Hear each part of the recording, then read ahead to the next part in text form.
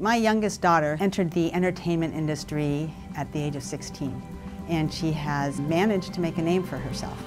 And she's even won an Emmy uh, a little over a year ago, a year and a half ago. What struck me the most was seeing a photograph where they had the whole group, everybody who was involved in winning this Emmy, and there were two women in it. Here we are in 2018, and the photograph had two women in it. Everyone else was a man. And to realize that no matter how hard everyone's been working and to make change, it's still a work in progress. And she's facing uh, as many barriers as maybe I did when I started my career, maybe more.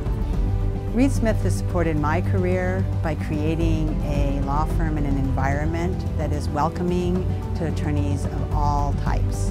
We have a program and a group of leadership that will make sure that women have all the opportunities, opportunities with clients, opportunities with work, opportunities with their own lives, to be able to become the leadership of the firm in the future.